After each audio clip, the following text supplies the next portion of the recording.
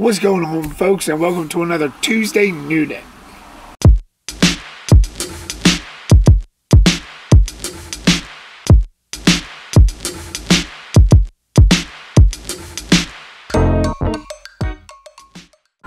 Shall we begin? Got the Incredibles. That's pretty good. I've seen that in theaters with my cousin, um, with my best friend. Christopher Robin. That's always pretty good. I've, I was always a Winnie the Pooh fan when I was young. Did a review for that one actually on my channel, on this channel. Let's see. As man. I think that's how you pronounce that. I never heard of that one.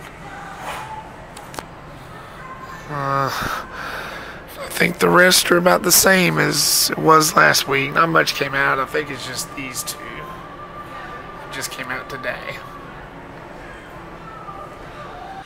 I hope you like this video, guys. Uh, like I said, there wasn't much that released today, none that I'm getting anyway. Even though the movies I did show you was good, I seen them in theaters. I reviewed one of them. That don't, doesn't always mean I'm to buy them. Again, I hope you like this video, guys. Like, subscribe, get reputized. Make sure to check out my Reactor Reactions Galore YouTube channel that's up now.